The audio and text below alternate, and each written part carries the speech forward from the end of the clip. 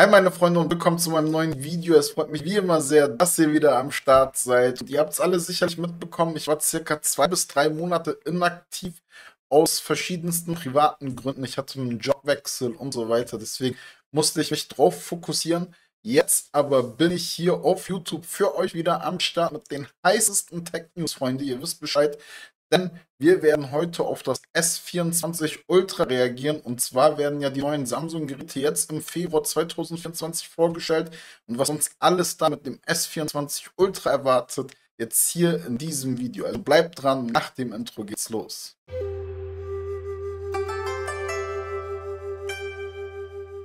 Mein Name ist Serkan und falls du das erste Mal hier auf meinem Kanal sein solltest, dann vergiss bitte nicht auf den Abonnier-Button unten zu klicken.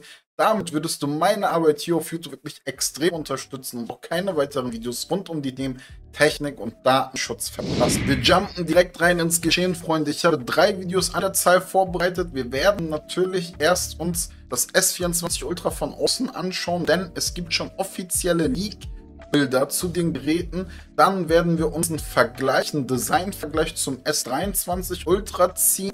Und hinterher werden wir uns noch den Snapdragon 8 Generation 3 Prozessor anschauen, der ja mit diesen Geräten jetzt erscheinen wird. Denn dieser hat es wirklich in sich. Da gibt es schon erste Benchmark-Zahlen.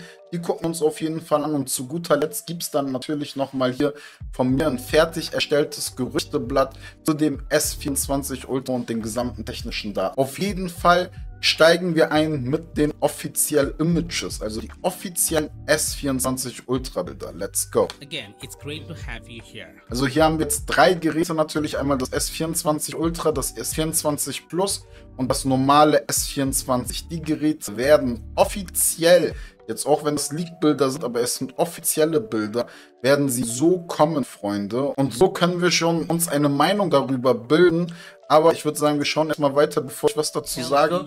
Ich werde hier in diesem Video jetzt auch nur auf das S24 Ultra eingehen, Freunde. Und hier haben wir schon das S24 Ultra in den vier verschiedenen Farben, die kommen werden. Einmal lila, ja, so äh, hellgrau, dunkelgrau und einmal so ein gelb-gold. Diese Farbe finde ich übrigens extrem heiß. Ihr wisst Bescheid, ich bin ein Yellow-Fanatiker, Freunde. Und dieses Gerät hier mit dieser Farbe ja, das, das sieht schon sehr lecker aus. Ich glaube, da werde ich vielleicht zuschnappen. Ich bin mir aber noch nicht sicher. Auf jeden Fall, was uns hier natürlich direkt auffällt, ist, dass wir das Kameradesign gleich haben wie beim S23 Ultra. Ist auch klar, warum sollte Samsung das ändern, denn wir haben hier das einzigartige No-Camera-Bump-Design, was wirklich nur von Samsung aktuell auf den Markt kommt und auch viele chinesische Hersteller machen es mittlerweile, die jetzt Samsung in der Hinsicht kopiert haben und den Kamerabump weglassen, wie zum Beispiel Oppo. Diese Geräte kommen aber dann meist nicht rüber hier zum Westen hin. Deswegen Samsung ist hier im Westen so der einzige Hersteller, der eben so High-End-Kameras, wirklich wie wir sie hier haben, die 200-Megapixel-Kamera natürlich, die auch hier verbaut sein wird, ja, kommt ohne Kamerabump. Und das ist einzigartig und sehr, sehr nice. Und ich habe mit vielen Leuten auch schon darüber geredet, mit dem S24 oder S23 Design ohne Kamerabump, wie sehr ich es feiere. Einige sagen dann noch, ja, ich finde es halt nicht schön. Aber ich kann euch sagen, technisch, Freunde, ja, optisch ist Geschmackssache, aber technisch ist es wirklich ein Schritt den anderen Herstellern voraus. So oder so. Ja, weil was wäre denn der nächste Schritt beim Apple 18 Pro als Beispiel jetzt, ja, wo der Kamerabump wegfällt, da wird es genauso aussehen, Freunde. Das hier, dieses Kameradesign ist ein Schritt allen anderen Herstellern tatsächlich voraus. Und ich feiere es extrem. Kameratechnisch wird es ein, zwei Veränderungen geben.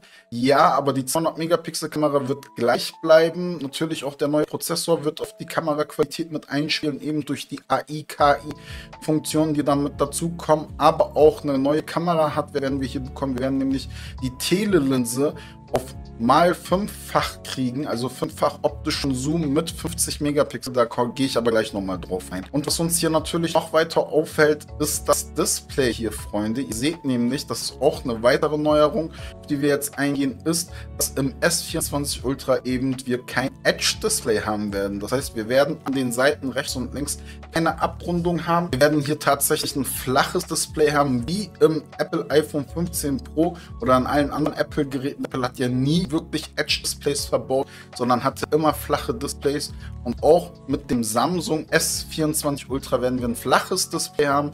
Deswegen sieht man hier jetzt rechts und links auch mehr Displayränder. Das hat natürlich den Nachteil, wenn man ein flaches Display hat, weil durch diese Edge-Funktion hat man den Displayrand dann an der Seite gehabt und es sah von vorne ohne Displayrand aus. Aber in diesem Fall jetzt werden wir rechts und links auch ein bisschen minimal Displayrand haben hier an diesen Geräten. Aber trotzdem feiere ich, und das habe ich auch vorher schon einmal gesagt, dass ich die flachen Displays aller Apple iPhone-Geräte mehr feier als die Edge-Displays, weil die Edge-Displays, da ist irgendwie die Luft raus, so meiner Meinung nach. So viel dazu, Freunde. Jetzt schauen wir uns nochmal die Designänderung zum S23 Ultra an und dafür habe ich hier ein weiteres Video natürlich auch vom Tech Talk TV.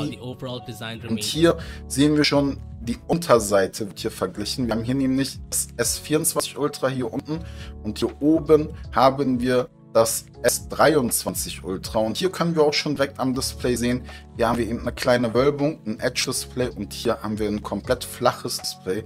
Also die Geräte werden auf jeden Fall exakt so kommen, Freunde. Und was uns natürlich noch auffällt, ist hier äh, die Lautsprecheraussparung, die ist hier ein bisschen anders gehalten. Was uns natürlich noch auffällt, und da kommen wir schon zu der nächsten Neuerung, ist eben hier das Material.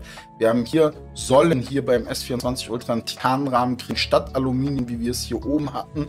Ja, und Titan Apple kopiert, ja, okay, mag sein. Aber selbst wenn Apple jetzt bei den iPhone 15 Pro Geräten kein Titan verwendet hätte, hätte es ja vielleicht Samsung trotzdem gemacht. Also äh, es ist so ein bisschen, ja, natürlich kann man auch sagen, das ist Marketing, ey, ihr macht Titan, wir machen jetzt auch Titan. Aber gut, was soll's für mich persönlich macht es keinen Unterschied, ob es Titan oder Aluminium ist. Ja, das merkst du an der Hand sowieso nicht. Der einzige Unterschied ist tatsächlich, dass Titan ein bisschen stabiler ist, meine ich. Und dass natürlich Titan auch wesentlich leichter ist als Aluminium oder Edelstahlrahmen. Das wirkt sich dann positiv natürlich auf das Gerät und auf das Gewicht insgesamt aus. Was uns noch auffällt hier auf der Unterseite ist, dass hier zwei Mikrofonlöcher sind, hier aber nur einer. Der ist tatsächlich auf die Oberseite gewandert, wahrscheinlich können wir gleich sehen. Und der S-Pen ist selbstverständlich mit dabei. Ihr seht, hier haben wir jetzt den S-Pen ein bisschen rund den Kopf und hier ist er komplett flach und schließt bündig mit dem Gerät mehr oder weniger ab. Muss man natürlich gucken, wie das jetzt dann mit der Druckqualität ist, wenn man den S-Pen rausholen möchte. Aber Apropos S-Pen, Freunde, auch das ist meiner Meinung nach ein riesen Mehrwert, was hier Samsung mit dem S24 Ultra anbietet. Der S-Pen ist einfach richtig, richtig nice und er ist schön, dass man ihn im Gehäuse verstecken kann. Er gehört einfach zum Gerät, er ist da ohne zu stören. Und das macht das Gerät meiner Meinung nach nochmal ein bisschen besser als die Apple-Geräte, muss man an dieser Stelle sagen. Schauen wir mal weiter. Subtle yet noticeable changes. Hier kommen wir zu der Oberseite und hier können wir sehen, dass das Mikrofonloch eben was unten fehlte, ist jetzt hier äh, beim S24 Ultra und beim S21 Ultra fehlt es eben oben, Freunde. Könnt ihr sehen. Und ansonsten sind beide Geräte wirklich absolut identisch. Was noch auffällt, ist vielleicht hier der Kamerarahmen. Hier ist ja ein bisschen ja, ein bisschen glänzender als hier, hat man so das Gefühl. Aber da muss man später schauen, ob hier sich wirklich diese, diese kleine Leiste, Rahmen, Kamera, Umrandung ja verändert hat, muss man schauen. While the titanium one is the S24 Ultra. So one immediately noticeable alteration. Das war's eigentlich schon. Ich glaube, noch eine Seitenansicht bekommen wir. Factor TV Bruder, wo hast du die Seitenansicht gelassen? Ja. Hier kommen wir nochmal zur Seitenansicht, wo eben auch die Buttons sind, laut leiser Buttons und Standby-Tasten natürlich. Und hier sehen wir auch den Unterschied eben mit dem Material, dass das Titan-Material ein bisschen hochwertiger verarbeitet aussieht, meiner Meinung nach. Ansonsten hat sich wirklich nichts geändert. Aber ja, man muss sagen, hier sieht man ein bisschen die Verarbeitung jetzt auch im extrem Zoom-Bereich natürlich. Ja, sieht man hier, dass die Verarbeitung vielleicht nicht so toll ist. Das können aber auch Gebrauchsspuren sein, weil ich glaube nicht, dass das ein neues S23 Ultra ist, was er hier vergleicht. Das heißt, hier können wir schon Abnutzungserscheinungen eben vom Aluminium haben, während Titan hier wirklich noch unberührt aussieht und auch hier sehr, sehr gut, sehr bündig abschließt, muss man sagen. Ob das jetzt die Verarbeitungsqualität insgesamt vom Gerät verbessert, weil wir eben einen Titanrahmen haben, glaube ich nicht. Die Geräte waren vorher auch schon extrem, extrem hochwertig verarbeitet. Und wenn, dann ist das nur ein extremen Zoom. Fall, also so wie wir es gerade sehen, im extremen Zoom-Bereich ist es dann auffällig und für uns dann in der Nutzung wird es kaum auffallen, Freunde. Also das war es jetzt hier aber auch schon mit dem Design-Vergleich. Mehr Bilder gibt es tatsächlich auch nicht. Als nächstes kommen wir jetzt zum neuen Prozessor, dem Snapdragon 8 Generation 3, der hier bei den Samsung S24-Geräten mit am Bord sein wird. Und da ist es natürlich jetzt auch interessant und stellt sich die Frage, wird Qualcomm für Samsung extra den Snapdragon 8 Generation 3 Samsung Edition Prozessor raushauen, so wie er es mit dem Generation 2er für die S23 Ultra Modell getan hat.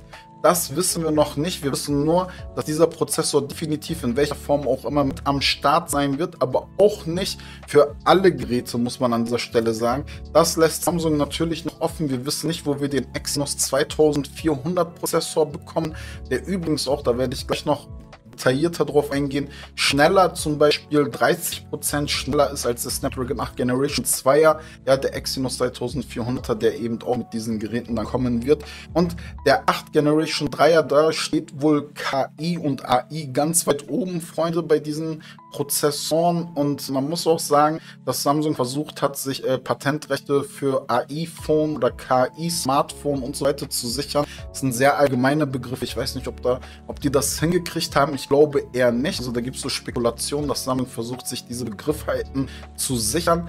Aber ja, ich würde sagen, wir schauen uns jetzt mal die Benchmark-Tests eben zu dem Snapdragon 8 Generation 3er an, denn die wurden auch schon geleakt und da werden wir auch sehen, dass der A17 Bionic Chip, der eben in den iPhone 15 Pro und 15 Pro Max Geräten verbaut ist, von dem Snapdragon 8 Generation 3er abgehängt wird, Freunde, was sehr, sehr interessant ist, meiner Meinung nach. Also, let's go.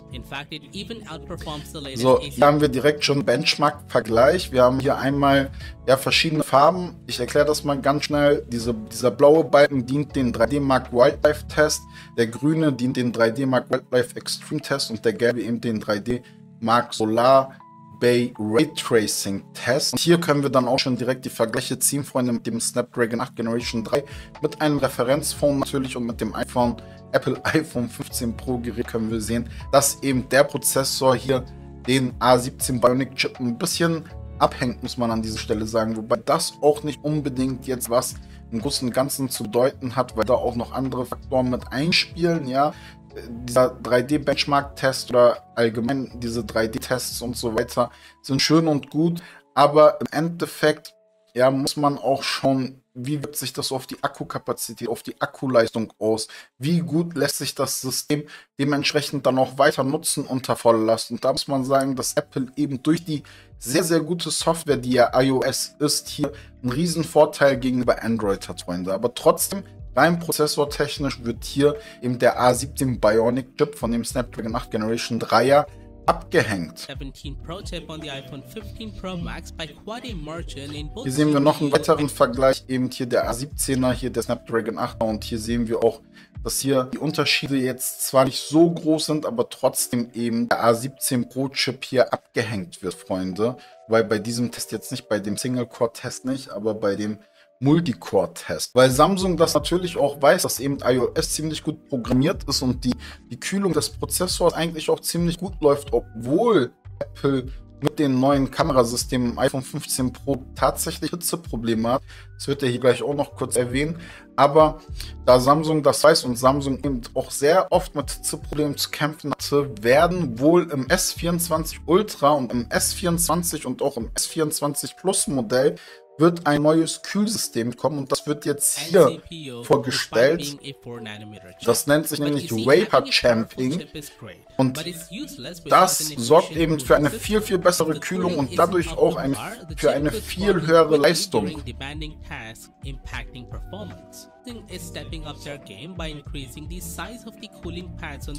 So, und zwar wird ein neues Kühlungssystem eben für die S24-Geräte kommen.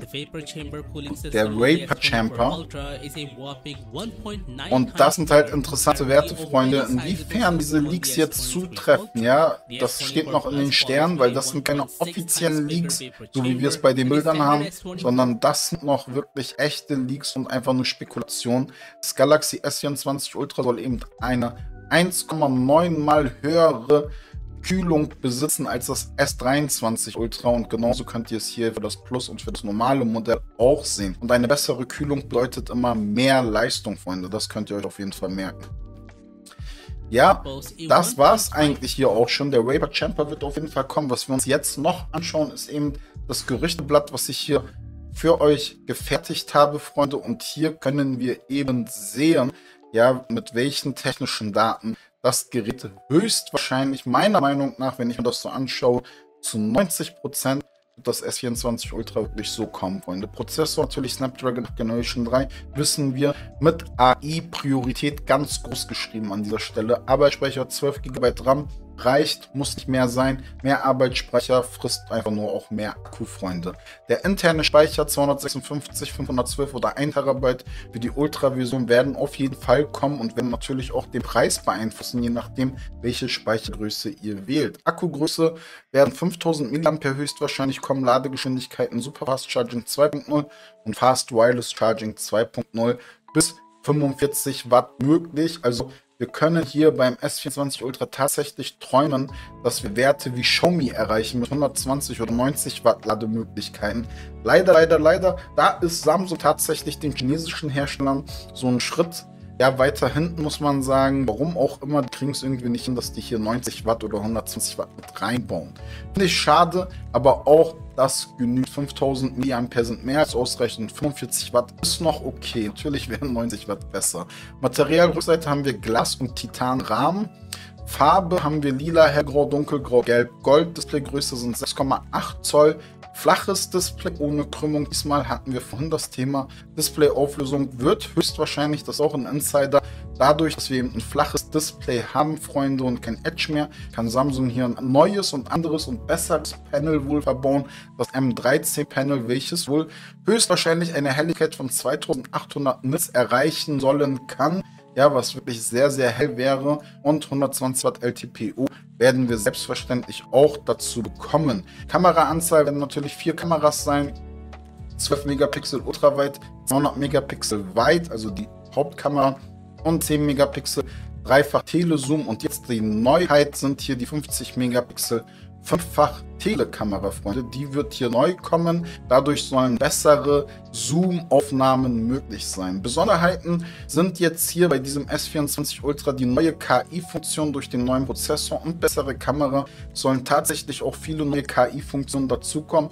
Darunter auch, das habe ich hier unten mit aufgeschrieben, eine KI-gestützte Zoom Anyplace Kamera-Funktion, welche von Samsung schon im Oktober von Samsung vorgestellt wurde, aber eben nicht für das S24 Ultra, sondern im Allgemeinen diese Funktion vorgestellt wurde. Und die könnte tatsächlich hier im S24 Ultra mit am Start sein. Insgesamt soll die Keynote das Motto KI bzw. AI bekommen, Freunde. Das heißt, das wird ganz groß geschrieben. Neuerungen zum Vorgänger sind eben neues und besseres Kühlsystem für mehr Leistung.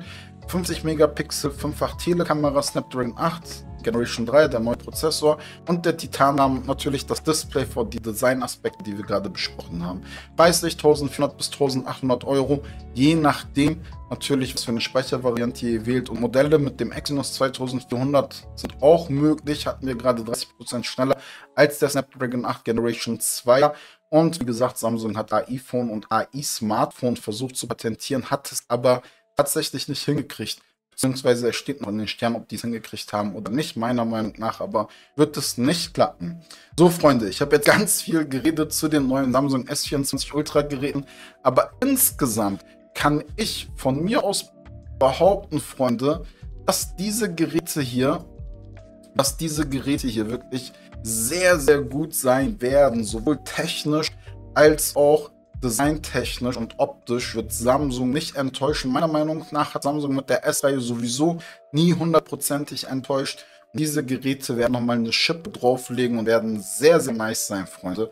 Vom optischen her eben mit diesem kantigen, eckigen und flachen Look ich sehr nice. Mich würde selbstverständlich auch interessieren, wie findet ihr das alles, Freunde? Wie findet ihr das, was wir im Moment auf dem Blatt stehen haben und würdet ihr euch bzw. spielt ihr mit dem Gedanken eben auf einen S24 Ultra umzusteigen? Wenn ja, schreibt es auf jeden Fall unten in die Kommentare, Freunde. Das war's von mir mit diesem Video. Es freut mich sehr, dass ihr am Start wart, dass ihr bis hier durchgehalten habt und ich würde sagen, für Support, Leute, abonniert gerne den Kanal, liked das Video, wenn ihr nicht schon getan, teilt es mit euren Freunden. Ich bedanke mich fürs Zusehen und wünsche euch noch einen schönen Restsonntag. Bis zum nächsten Mal, Freunde. Macht's gut, euer Techmaster.